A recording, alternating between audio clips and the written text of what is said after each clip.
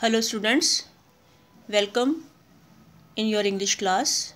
Today we are going to discuss lesson 2 the white elephant. Today we are taking the question answer of this chapter.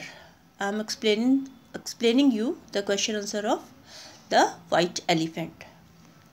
Question number 1 How did the white elephant help the forester? जो white elephant था, उसने forester की help कैसे की? जो forester था, जंगल की रखवाली करने वाला, उसकी हेल्प वाइट एलिफेंट ने कैसे की? The white elephant help the forester by carrying him on his back to the outskirts of Banaras तो वाइट एलिफेंट ने क्या किया? जो फॉरेस्टर था, उसे वो अपनी पीठ पर बैठाकर बनार, बनारस की सीमा तक ले गया। जब उसने सुना कि जो फॉरेस्टर है, वो परेशानी में है, मुसीबत में है तो उसने डिसाइड किया कि वो उसकी हेल्प करेगा। जब उसे पता लगा कि फॉरेस्टर अपना रास्ता भूल गया है जंगल में तो वाइट एलिफेंट ने उसे अपनी पीठ पर बिठाया और बनारस के बॉर्डर तक उसे ले गया।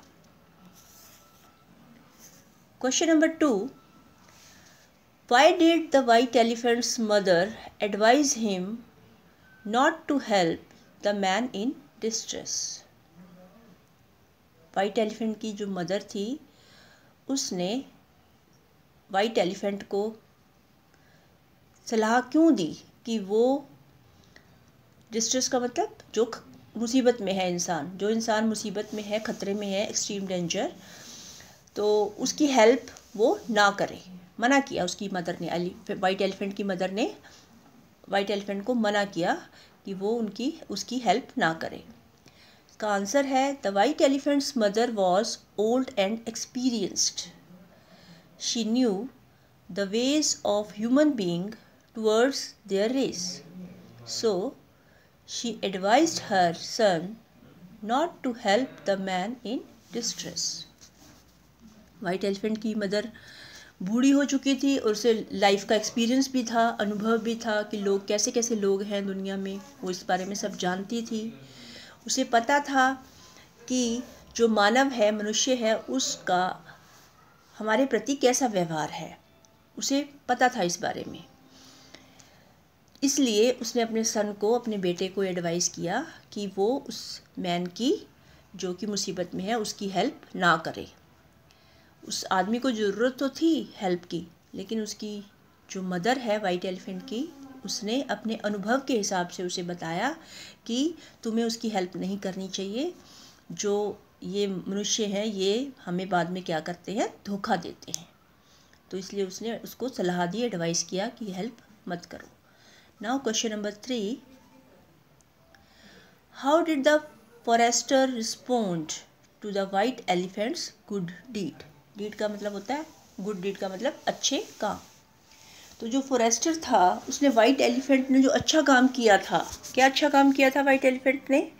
फॉरेस्टर को अपनी पीठ पर बैठाकर वो बनारस के बॉर्डर तक ले गया था। तो ये जो अच्छा काम किया था वाइट एलिफेंट ने तो फॉरेस्टर ने उसके बदले क्या किया उसके साथ? Answer is the forester responded to the white elephant's good deed by treachery treachery आपको बताया लेसन में मैंने, धोखेबाज, विश्वासघात करता है जो। तो फॉरेस्टर ने वाइट एलिफेंट के अच्छे कामों का क्या फल दिया उसे? कि उसके साथ विश्वासघात किया। कैसे विश्वासघात किया उसने? क्योंकि उसने किंग को बता दिया था कि एक वाइट एलिफेंट है, बहुत सुंदर है, बहुत अच्छा है, बहुत स्विफ्ट है। तो उसके बारे में राजा को बता दिया था। और उसके साथ वाइट एलिफेंट के साथ क्या की उसने? चीटिंग की, धोखा किया। Question number four why did the white elephant refuse to eat anything in the palace white elephant ने पैलेस मतलब महल। महल में कुछ भी खाने के लिए मना क्यों कर दिया? रिफ्यूज़ का मतलब मना करना। वो कुछ नहीं खा रहा था वहाँ पर, महल में। Answer is The white elephant's mother was starving in the forest. Remembering her pathetic condition, the elephant refuse to eat anything in the palace starving का मतलब आपको लेसन में बता दिया गया है भूख से मरना। भूख को बर्दाश्त करना भूख से मरना बहुत ज़्यादा जब भूख लगती है। और पैथेटिक का मतलब बड़ी ही दयनीय कंडीशन स्थिति, बड़ी ही दयनीय स्थिति हो गई थी। इसको बोलते हैं कि इंसान कुछ नहीं कर पाता उस स्थिति में that is called pathetic condition तो वाइट एलिफेंट की मदर जंगल में भूख से तड़प रही थी। उसकी दयनीय स्थिति को याद करते हुए एलिफेंट ने, हाथी ने वाइट एलिफेंट ने महल में कुछ भी खाने से मना कर दिया था, क्योंकि उसको याद आ रहा था कि उसकी मदर तो अंधी है। जब वो कैसे अपने लिए खाना अरेंज करेगी? क्योंकि वाइट एलिफेंट ही उसके लिए खाना अरेंज करता था। तो वो ये सब बातें याद करके, उसकी करुणा भरी स्थिति को याद करके वाइट एलिफेंट ने कुछ भी खाने से मना कर दिया। Question number five how did the king help the white elephant राजा ने वाइट एलिफेंट की हेल्प कैसे की?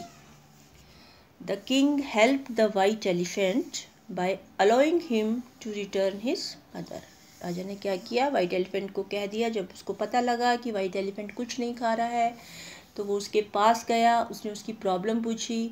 तो वाइट एलिफेंट ने उसको प्रॉब्लम बताई कि मेरी माँ भी भूखी है, मैं कैसे खा लूँ? तो राजा ने वाइट एलिफेंट की तारीफ़ करते हुए कि तुम तो बहुत अच्छे हो और उसे अलाउ कर दिया, उसे आज्ञा दे दी कि वो रिटर्न वापस अपनी माँ के पास जा सके। तो स्टूडेंट्स ये क्वेश्चन आंसर थे लेसन टू के लेसन टू इज़ कम्प्लीटेड आप इनको अपनी नोटबुक में लिख लीजिए। जैसे आपको बताया है कि हर एक क्वेश्चन के बाद आपने एक या दो लाइन ज़रूर छोड़नी है और अनटाइडी काम नहीं करना है। साफ़ सुथरा काम करना है इंडेक्स साथ साथ बना लेने हैं, ऊपर लेसन का नाम और साथ में राइटर का नाम आपने ज़रूर मेंशन करना है डेट मेंशन कर लीजिए डे मेंशन कर लीजिए। And student one thing more पहले भी बोला है आपको कि आप क्वेश्चन आंसर को साथ साथ याद ज़रूर कीजिए। In next video I will take lesson three of literature book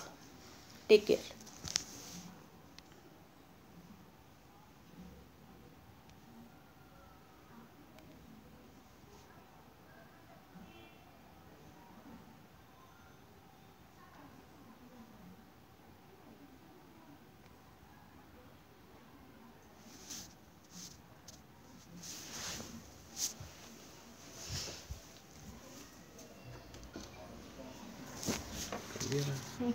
Uhum. Oi,